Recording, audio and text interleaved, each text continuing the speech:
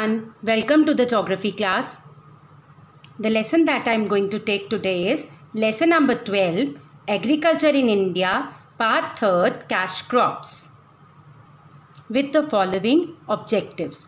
Through this lesson we will learn about the cash crops like cotton, jute, oilseeds, sugarcane, tea and coffee under the following headings importance or characteristics of each crop, their types and or varieties, their geographical requirements that is type of soil, temperature and rainfall required, their methods of cultivation, problems of each crop, area states in India where these crops are grown along with the largest producer of each crop.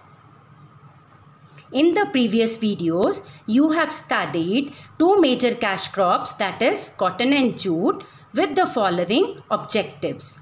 Their characteristics, types, varieties, type of soil in which these crops are grown, their climatic requirements that is temperature and rainfall in which they are grown, their methods of cultivation and their harvesting, problems of cotton and jute, their processing, their main uses, area states where cotton and jute are cultivated in India. So children, before proceeding with the next crop, let us recall cotton and jute with the following terms and cross questions. Number one, long staple cotton.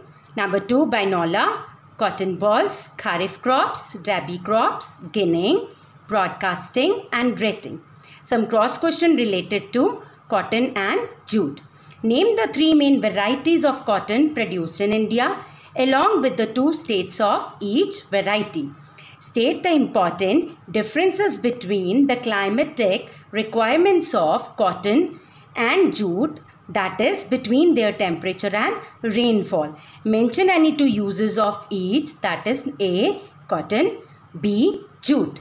State any two problems of each A. Of cotton and B. Of jute. Next question is why is the retting of jute done? State the two varieties of jute grown in India.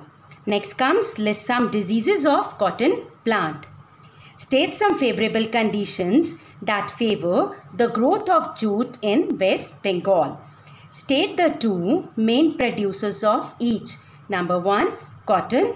Number two, jute. That is, we have to name here the two states where cotton is grown in India and the two states where jute is grown in India.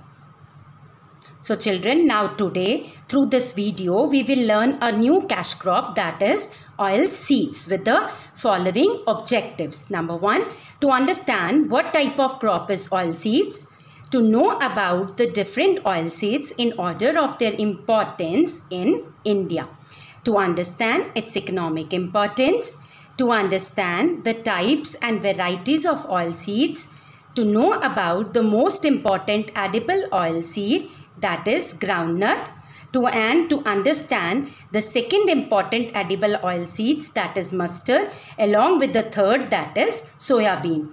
To understand the type and varieties of groundnut, to understand the types of soil on which groundnut, mustard and soya bean can be grown.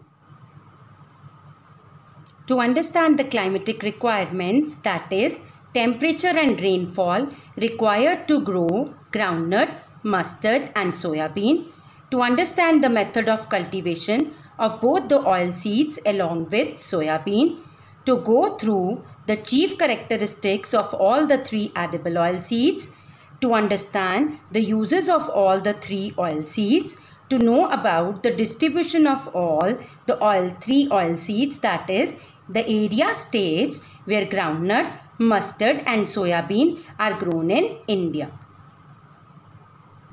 Now coming back to the topic of the day that is oil seeds.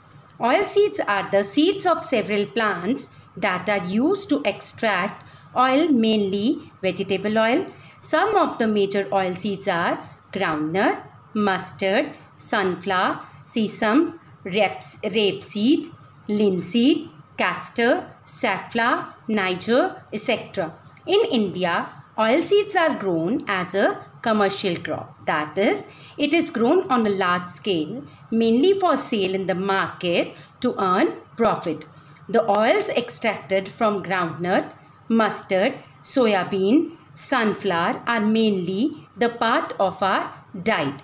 They are also used in soaps, cosmetics, medicinal products, varnishes, perfumes, etc. They are mainly edible oil seeds like groundnut, mustard, sesame, sunflower and non-edible oil seeds like castor, linseed, neem and mahua. The most important oil seed in India is groundnut. It is a crop of Brazil origin. In India, it is grown as a kharif crop. That is, it is grown in a summer season and accounts for mainly 30% of total production in the world. It is a leguminous crop. Second important oil seed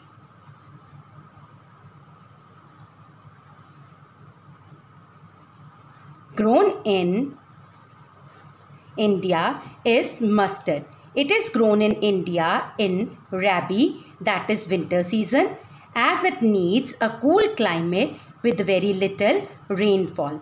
It yields about 25 to 40% of oil content used as a vegetable oil. It is also called as sarson. After mustard, mustard comes the soya bean which is a very important source of protein for the vegetarian population of India. It was introduced from China through the Himalayan routes. It is mostly used to extract soybean oil which is used as a cooking medium in most of our homes. It is used as salad dressing, soya sauce in the Chinese dishes.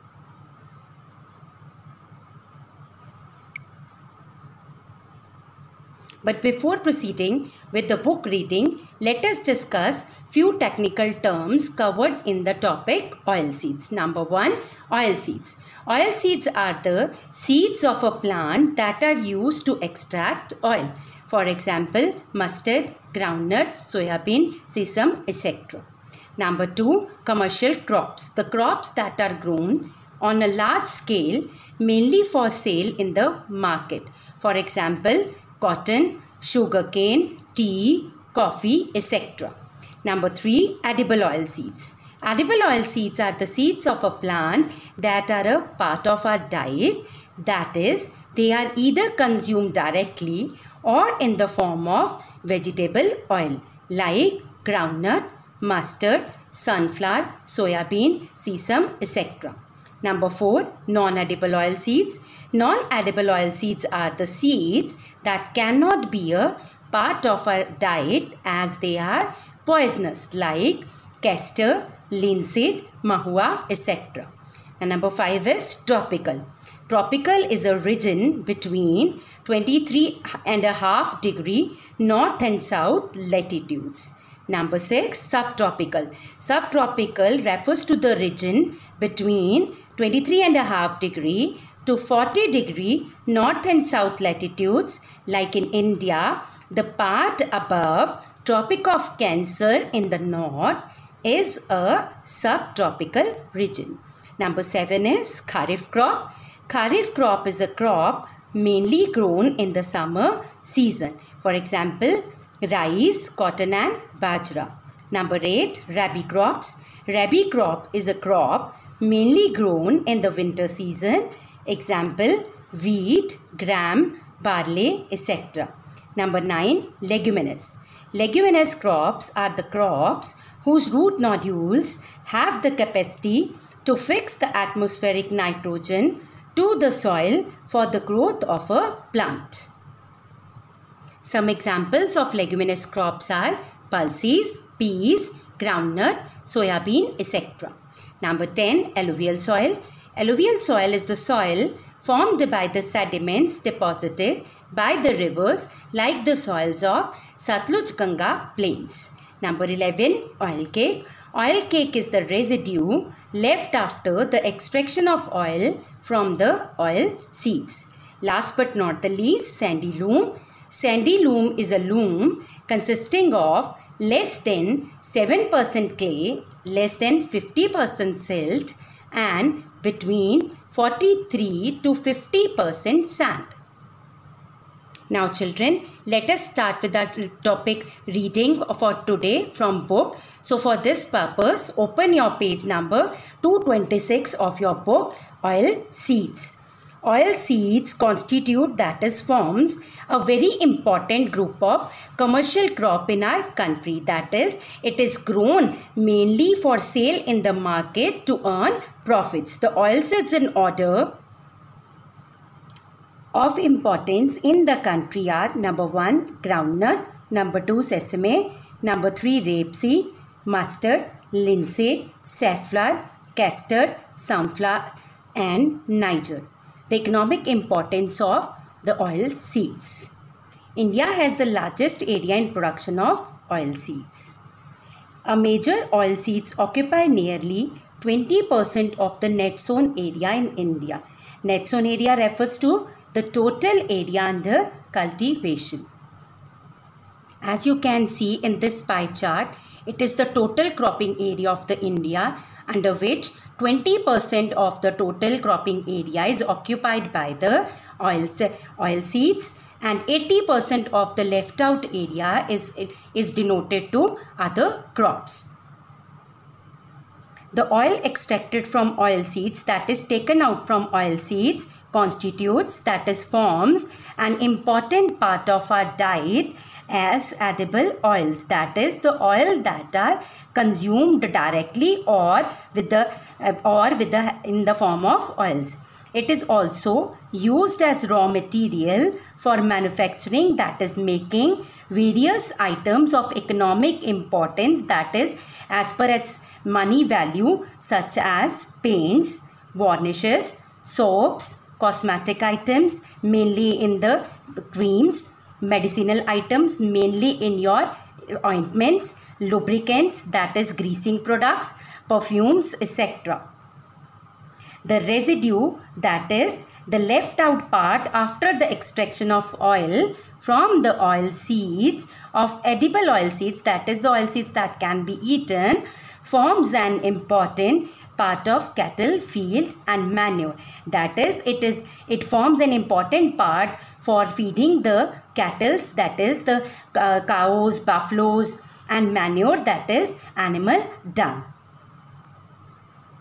The most important economic importance of oilseed is that the oil industry offers employment that is it gives jobs to millions of people especially where oil extraction that is the taking out of oil from the oil seeds is done manually that is by hands. Now let us study the types and varieties of the oil seeds. Oil seeds can be put into two categories. Number one, edible oil seeds. Edible oil seeds are the oil seeds that are part of our diet like groundnuts, sesame, rapeseed, mustard, sunflower and Niger. Some of these edible oil seeds are used for making vegetable ghee that is vanaspati. Now number second is non-edible oil seeds. Non-edible oil seeds are the oil seeds that cannot be used as a part of our diet as they may be poisonous. Some of the non-edible oil seeds are castor, linseed, neem and mahua. They are used for producing industrial oils and other commercial products. Now let us start reading with the edible oil seeds. That is the oil seeds which can be a part of our diet. The first important edible oil seed is groundnut. Groundnut is the most important edible oil seed of India. It is also the largest oil seed produced in India. It accounts for about half that is 50% of the major seeds produced in India and 30% of total production in India accounts to groundnut. It is essentially a tropical and subtropical crop. That is, it can be grown between 23 and a half degree to 23 and a half degree north and south latitudes and between 40 degree north and south latitudes. In India, it is grown both as a kharif and a rabi crop.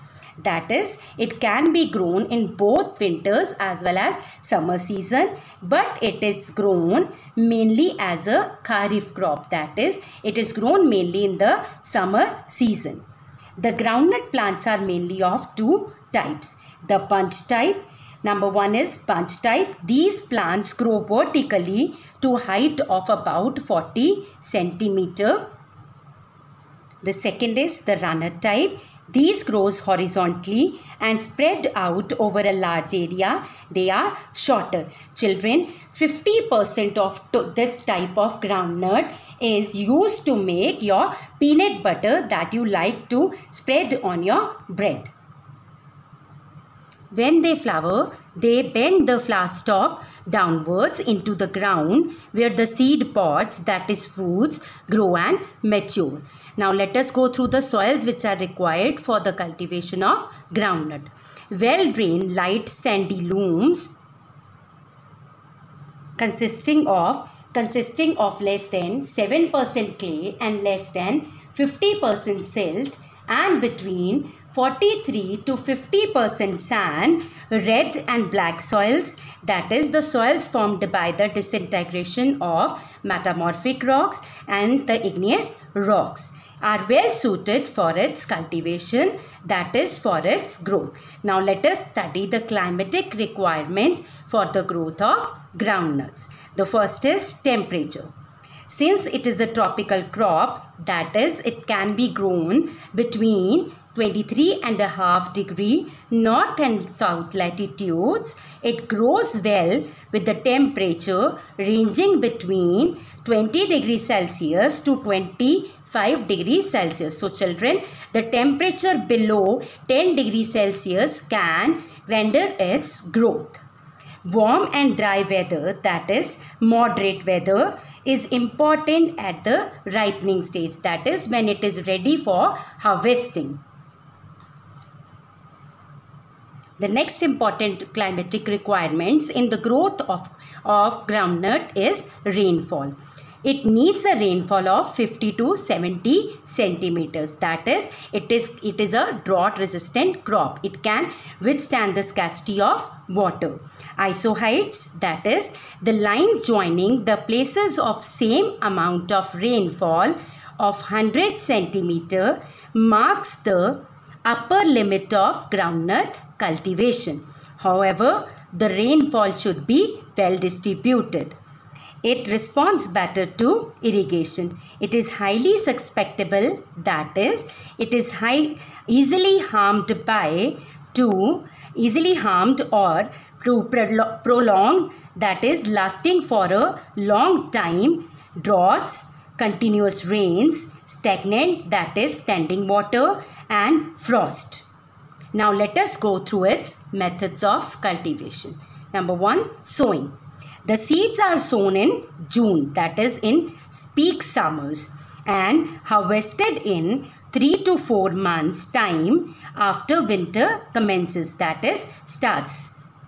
Because it cannot tolerate the temperature less than 10 degree Celsius. Its pods grow underground hence they are known as groundnuts so children here we have we have come to know why are the groundnuts named so? Because of their pods growing in the ground. Groundnut is a leguminous crop. What is this leguminous crop? Leguminous crops are the crops that have the capacity to fix the nitrogen to the plants for the to the soil for the growth of the plants. So let us continue. Groundnut is a leguminous crop and like pulses it has property of fixing atmospheric nitrogen to the soil thereby increasing the fertility of the soil. Therefore, it is used as a rotation crop for millets as well as other crops grown in that season. Now next is harvesting that is cutting the crop on being ready. Groundnut pods are harvested from October to December. When the pods are mature and ready for harvesting, they are dug out and collected by hand. Hence, it needs cheap and abundant manual labor. That is, it needs a lot of labor that works with hands. After these pods are collected, they are dried in the sun. Later, the pods are shelled. That is, to remove the outer covering. And seeds are collected on an average the seed kernel that is edible part of a nut yields about 45% oil. Dry and warm winter is needed at the time of ripening. Now let us go through the chief characteristics of groundnut. Groundnut kernels are a very rich source of protein and vitamins and have high caloric value. It contains 40 to 50 percent oil which is mainly used as a edible refined oil as well as hydrogenated ghee that is the oil having low trans fat. Vanaspati form and that is that is the substitute for butter. Now let us go through the uses of groundnut the groundnut oil is used for manufacturing medicine emulsions that is in liquids, artificial leather, soap and oil requisites that is the things that are in demand. Groundnuts can be eaten raw that is the kacha mufli that you eat. Roasted that is in the form of singdana. Salted or sweetened. Many sweets are savoids that is snacks are made from it. After extraction of oil, the leftover residue, that is the part which is left after the extraction of oil from the oil seed is used as an important cattle feed. That is, it is used for as a food for animals. Now, let us go through the area states where uh, groundnut is grown in India. India is the largest producer of groundnut. Since it is primarily, that is mainly, a rain-fed crop, that is, it depends upon rainfall, there are, the, there are bound to be fluctuation that is sometimes it, its prices rises up sometimes it its production becomes low in its production the state, main producers of oil seeds in India are Andhra Pradesh, Telangana, Tamil Nadu and Gujarat. Now let us see these states through map. Gujarat is the largest producer of groundnut in India. It accounts for nearly 2982 thousand tons of groundnuts in the areas of Jamnagar, Gir, Amreli, Bhavnagar and Porbandar.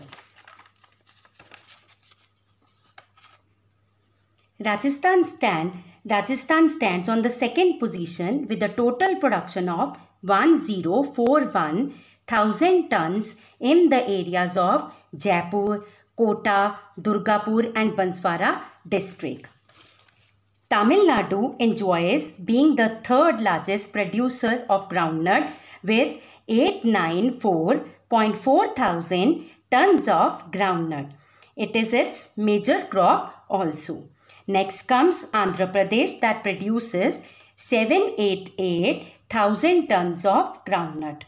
Other states are uh, Karnataka, Telangana, Maharashtra, Madhya Pradesh, Uttar Pradesh, west Bengal. The next important oil seed is mustard which is also called as sarso children you are very aware about the about sarso as you eat the sarso का saag and मक्के की roti in winters now let us read this mustard crop Mustard is a tropical crop that is it can be grown between 23 and a half degree north and south latitude. It is grown as a in rabi season that is it is grown in winter season mainly in India. Now let us see its soils. It grows well on alluvial soils that is the soils which is brought down by the rivers alluvial soils of Satluj and Ganga plains. Now let us go through its climatic requirements. Number first is temperature. Mustard seeds need a cool climate with a temperature ranging between 10 degrees Celsius to 20 degrees Celsius. And so children, the temperature above 25 degrees Celsius is intolerable to mustard crop. Very little quantity is grown in peninsular India, that is South India. Rainfall. It requires rainfall of about 25 to 40 centimeter. That is, it is a drought resistant crop and it can withstand the shortage of water. Now let us go through its method of cultivation.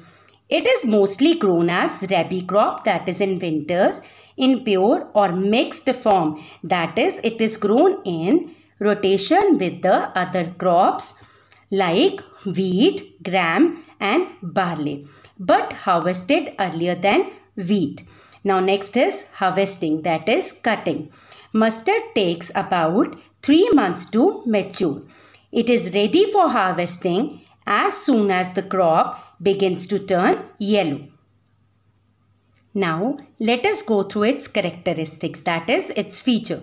The oil content of mustard seed is 25 to 45 percent and is mainly used as cooking medium. So children, it means that the oil which is taken out from, from the mustard is 25 to 45 percent and is used mainly in our cooking as an oil. It is also used as a preservative for pickles that is in achar and lubricants that is in greasing. Now let us study the uses of mustard. The leaves are used as vegetable, especially sarso, that is sarso ka saag, which is very popular in Punjab and Uttar Pradesh. Its oil cake, that is the residue left after the extraction of oil from the oil seeds, is used as an important cattle feed, that is it is given to the animals as a food and is also used as a manure that is an animal dung. Now let us go through the area states where mustard is produced in India. Uttar Pradesh, Rajasthan and Haryana are the major producers of this crop. Now let us go through these area states, area states in the map. Largest producer of mustard in India is Rajasthan. Rajasthan with a total production of about 44.03%. Second largest producer is Uttar Pradesh and accounts for nearly 10.55% of the total produce. Next comes Haryana with a total production of 8.50%. Other states where mustard is grown in India are Bihar, Jharkhand, West Bengal, Assam. Now children, the third important oil seed is soya bean. It is a body building food. Soya bean is a leguminous crop that is its root nodules have the capacity to fix the atmospheric nitrogen to the soil for the growth of a plant. It also improves the fertility of the soil and helps in controlling the weeds. It is a best source of protein for the vegetarian population of India. It is not only consumed as edible oil but also consumed as soya milk, soya cheese, soya sticks, etc. Now let us read it from the book. Soya bean. It is a subtropical crop. That is, it can be grown between 40 degree north and south latitudes. It can be grown on a variety of soils, but children, well-drained loamy soils, that is a mixture of sand and clay, are best for its growth. It needs temperature of 21 degrees Celsius and rainfall of about 100 centimeters. It has a growing season of 105 to 120 days. It is mostly used in far eastern countries like like China, that is origin origin of soybean japan and korea. Recently because of its high protein content it has become popular with indian farmers and produces about 12 million hectare of oil seeds. Though oil content is only 28% it is very useful crop as it contains 40% protein 25% vegetable oil Vegetable and beans are used for making sauce that is soya sauce which you use in your Chinese dishes like, like your noodles, fried rice, Manchurian, etc. The oil is used as a salad oil for making margarines that is a butter substitute and many other edible items. Soybean is used as a substitute for non-vegetarian foods as it provides the much needed protein for staying fit and for muscles growth. It is also used for manufacturing other products like soaps, linoleum and lubricants. Because of its rich nutrient value, these days it is mixed with wheat flour for making chapatis and its nuggets are used for curries. It has omega-3 fatty acids which are good for our heart. That is why people use to oil of soya bean in their diet. Area states. The leading producer of soya bean in India are Madhya Pradesh and Uttar Pradesh. Let us see these states along with the other producers of soya bean in India through map. Madhya Pradesh is the largest producer of soya bean in India. Madhya Pradesh along with along with Maharashtra and Uttar Pradesh constitutes about 89% of the total soya bean production in India. Other states like Rajasthan, Gujarat, Chhattisgarh, Maharashtra, Karnataka and Andhra Pradesh constitutes about 11% of the soya bean in India. So children, through this video, you have learnt about the various oil seeds, their economic importance, types, varieties and the three main edible oil seeds that is groundnut, mustard and soya bean under the following headings. Type of crop they are, soil in which these oil edible oil seeds are grown, climatic requirements that is temperature and rainfall needed to grow these oil seeds. Their methods of cultivation, their uses and area states where these oil seeds are grown in India